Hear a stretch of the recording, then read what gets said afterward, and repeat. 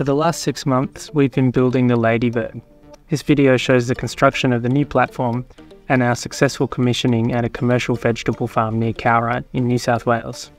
As seen in our previous videos, the Ladybird is a flexible, omnidirectional platform that's capable of versatile manoeuvres.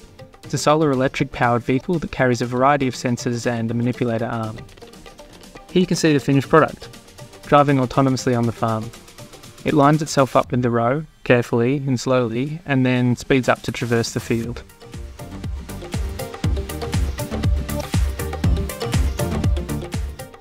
So let's take a closer look as the Ladybird exits one row and then lines itself up for the next.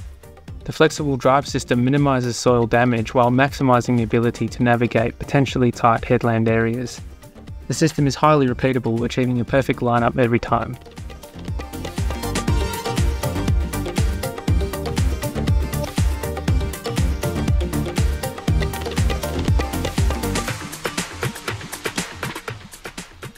Here, we're autonomously scanning the end section of 8 rows of onions.